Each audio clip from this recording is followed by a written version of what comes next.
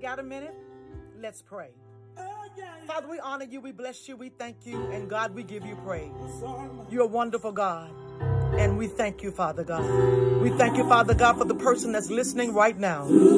They've been going through the fire. They've been going through the flood. And some people are stuck in the fire right now.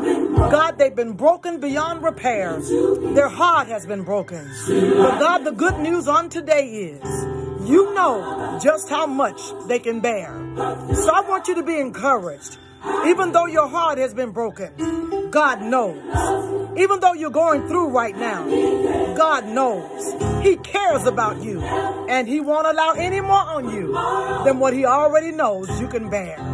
Be encouraged because you're coming out. God bless you in Jesus' name. Amen.